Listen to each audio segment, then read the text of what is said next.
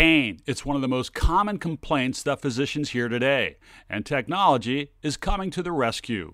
We find out how in today's Health Matters.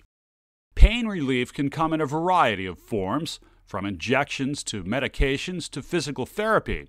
But for those who have tried all three without success, there's another method that might work. A lot of people call it a morphine pump.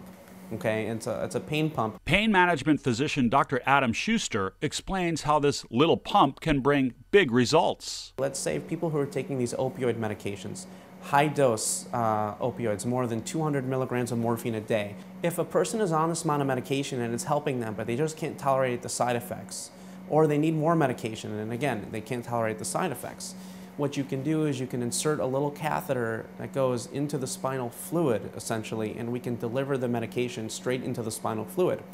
So you need much, much less medication to have the same effect, and it cuts down on uh, side effects and can be very useful because you can mix a variety of medications. The pump is about the size of a hockey puck with space inside to hold medication.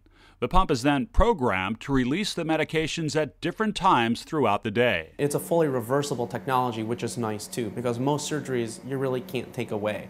This one, you can put it in and you can take it out if it doesn't work or there's a problem with it. Designed to help lessen chronic pain, these pumps are often prescribed when all other therapies and surgeries have failed.